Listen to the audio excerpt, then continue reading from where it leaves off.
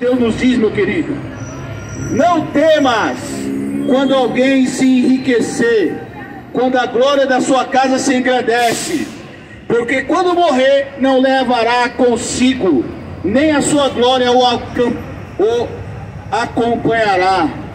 A palavra de Deus diz que quando a pessoa morre, ela não pode levar nada, nenhuma riqueza. E eu quero fazer um paralelo aqui com você que de repente está na rua, está em situação de rua.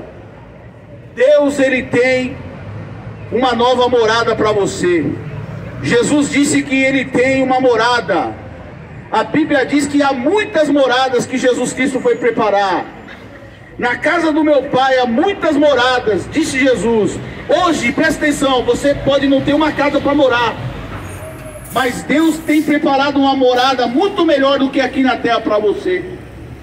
Se você atentar para a palavra de Deus, se você acreditar no seu filho, se você obedecer a sua palavra, no final dessa vida dolorosa, no final dessa luta, no final dessa vida que nada se leva, você vai ter um lugar especial para com Deus. Que Deus